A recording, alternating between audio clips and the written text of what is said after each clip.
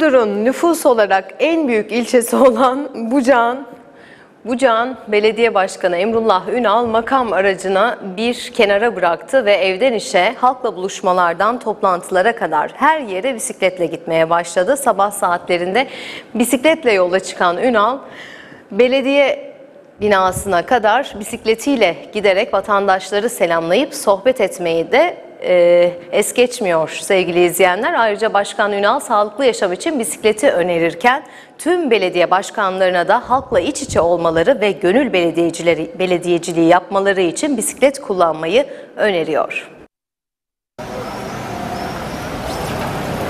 sabah evden makam aracıyla çıkıp yine makama araçla geldiğin zaman kimseyi görmüyorsun. En başta vatandaşla iç içe gönül belediyeciliği anlamında e, bir belediye başkanlığı yapmak için yaz sezonunun başlamasıyla birlikte e, bisikletimize binmeye başladık. Makam aracıyla yola çıkınca kimseyi görmüyorsunuz diyen Burdur'un Bucak ilçesi belediye başkanı Emrullah Ünal, halkla iç içe olmak ve gönül belediyeciliğini gerçekleştirebilmek için makam aracına yaz dönemince veda etti.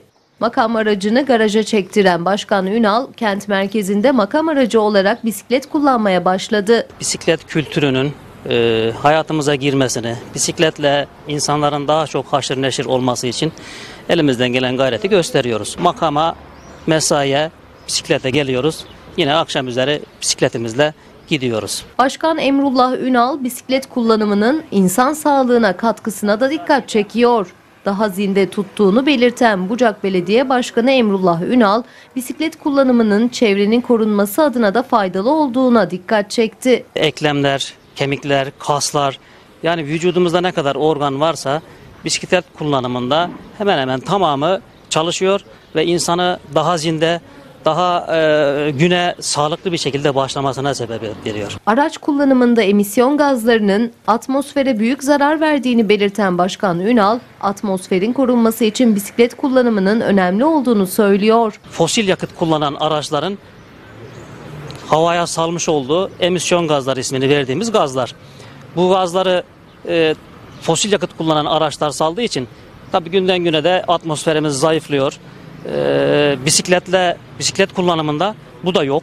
Hem çevreye hem yakıta hem de sağlığa bilinen bu etkilerinden dolayı biz de e, vatandaşlarımıza en başta ailemize daha sonra çevremize ve toplumumuza örnek olması açısından e, bisiklet kullanımını gerçekten önemsiyorum. Makam aracını bir kenara bırakarak bisiklet kullanmaya başlayan Ünal belediyecilikte halkla iç içe olmanın önemli olduğunu belirtiyor ve tüm belediye başkanlarına bisiklet kullanmayı öneriyor. Ben bütün belediye arkadaşlarıma tavsiye ediyorum. Özellikle bizim ölçekte ve bizim ölçekten küçük belediye başkanlarımızın bisikletle işe gelip gitmesini tavsiye ediyorum. Neden?